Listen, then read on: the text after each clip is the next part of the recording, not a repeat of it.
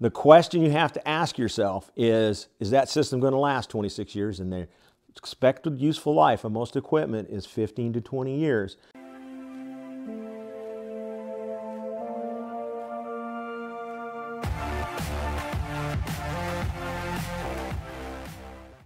Hi, Mitch Bailey here. I get asked the same question all the time. How much am I going to save? What's the difference in savings over time based upon I go 18 SEER or 15 SEER? Well, there's actually a very easy calculation we can do to give you what the average savings should be between the two systems and what you should cost you to run them.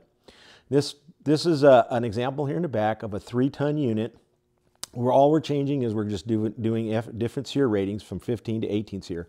So pretty simple. So let's go over it real quick. Okay, first off, we're taking a three ton unit. Three ton unit makes 36,000 BTUs, okay?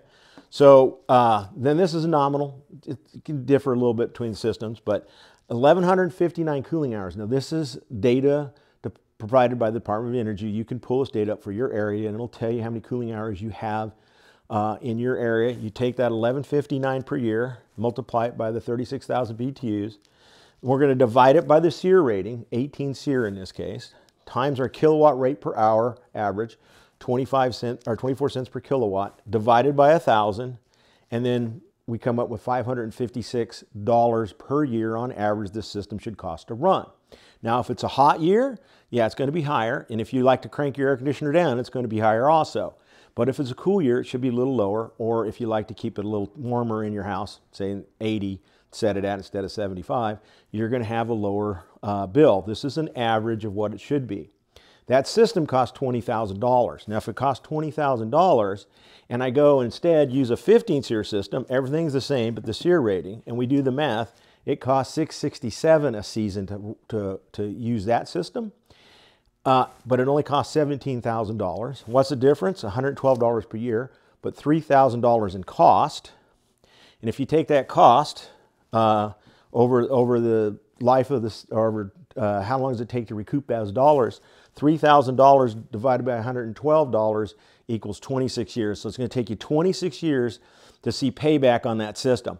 The question you have to ask yourself is, is that system going to last 26 years? And the expected useful life of most equipment is 15 to 20 years. So that's probably not likely going to happen. So is it worth going to the 18 SEER?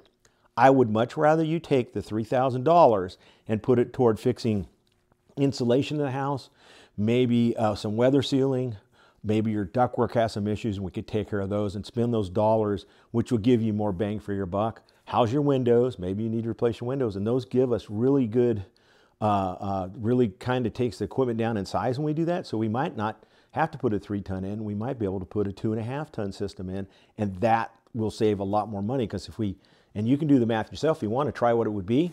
Take this to 30,000 BTUs and do the math, and you'll find it will very come very close to what it costs to do that 18 SEER system just by sizing down the windows. Apply some of that money toward windows, insulation, envelope, ductwork, and you'll find that you actually get a better system overall. All right. If you like the video, please like and subscribe, and thanks for watching. See you on the next one.